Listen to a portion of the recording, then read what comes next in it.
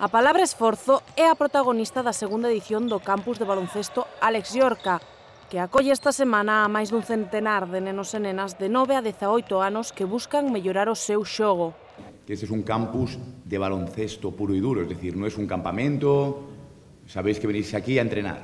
Esto necesita unas instalaciones como las que disfrutamos. As sete canchas do Pazo dos Deportes e do Anexo están a disposición destes nenos que adican máis de seis horas diarias ao baloncesto repartidas en diferentes actividades e centradas na mellora de todos os aspectos técnicos e tácticos deste deporte. Pues tenemos a suerte de tener un, un marco incomparable para, para el desarrollo de un campus con unas instalaciones deportivas donde podemos entrenar 109 niños a la vez, sin tener que hacer turnos de entrenamiento, con el entorno del río al lado, con la posibilidad de, ir a, de disponer de unas magníficas piscinas para para ocio para os chavales cando queramos.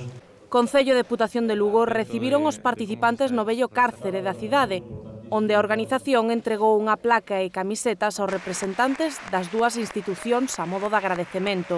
A Diputación vai estar sempre con vos, vai estar con vos e vai estar tamén con todas aquelas persoas de entidades e clubs que aposten decididamente polo deporte base. Desde o Concello apostamos polo deporte e sobre todo polo deporte de base polas categorías inferiores e colaboramos cos clubs e cas asociacións pois, para acceder as nosas instalacións e para, en fin, que todo este correcto para o uso do deporte.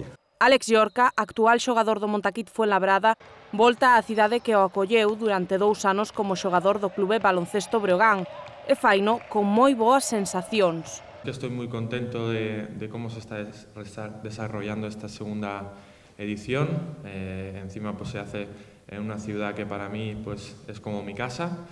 Polo momento, aínda lles quedan uns días de traballo, pero mentras, estes mozos de Galicia e Madrid desfrutan en Lugo do que máis lles gusta.